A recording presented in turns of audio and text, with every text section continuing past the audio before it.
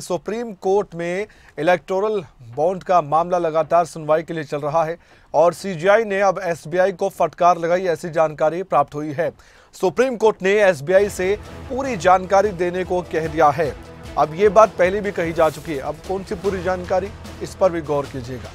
Bond number की पूरी जानकारी क्यों नहीं दी गई? सुप्रीम कोर्ट ने सवाल उठाया इलेक्टोरल बॉन्ड पर तीन दिन में हर जानकारी सार्वजनिक की जाए, ये चीफ जस्टिस ऑफ़ इंडिया ने कहा है। अल्फ़ा न्यूमेरिक यूनिक नंबर का इस्तेमाल क्या था? ये भी सुप्रीम कोर्ट ने कहा है।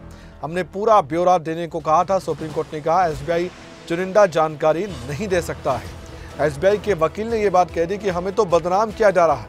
हम हर जानकारी देने को तैयार हैं, लेकिन बदनाम किया जा रहा है। हमारी गलत छवि बनाई जा रही है। सोशल मीडिया पर मीम्स बन रहे हैं एसबीआई को लेकर। ये सब कुछ हो रहा है और इसलिए एसबीआई को इसी बात की चिंता है कि बेवजह उनको बदनाम किया गया, उनका नाम खराब किया जा रहा है।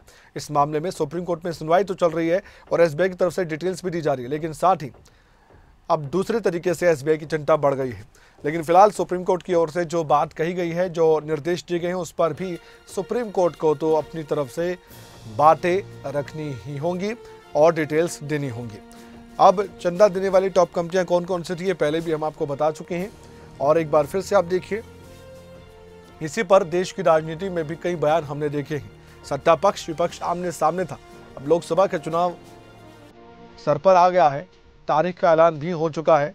तो इस तरह के मुद्दे भी राजनीतिक गलियारों में चर्चा का विषय बनते हैं। हालाँकि इसमें जो पार्टियाँ हैं, वो प्रमुख पार्टियाँ हैं, जिन्होंने चंदा लिया है किसी ने कम तो किसी ने ज़्यादा लिया। ये इलेक्टोरल बॉन्ड कहा जाता है।